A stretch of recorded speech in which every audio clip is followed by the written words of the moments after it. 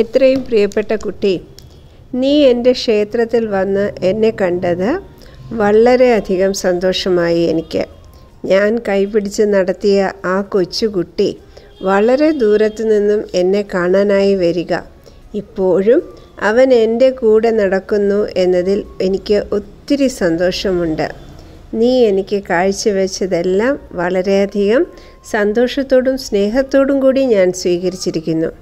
നീ ഇനി ഒരു പ്രാവശ്യം കൂടി എന്റെ അമ്പലത്തിൽ വരികയാവട്ടെ വരാതെ ഇരിക്കുകയാകട്ടെ. പക്ഷേ ഒന്നും ഞാൻ പറയുന്നു ഞാൻ നിന്റെ കൂടെ എപ്പോഴുമുണ്ട്.